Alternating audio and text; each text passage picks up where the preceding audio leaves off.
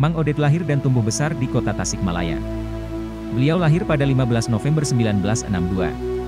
Pendidikannya diselesaikan di SD Lengkong, 1969 hingga 1975, ST Negeri 1 Tasikmalaya, 1975 hingga 1978, STM Negeri Tasikmalaya 1978 hingga 1982.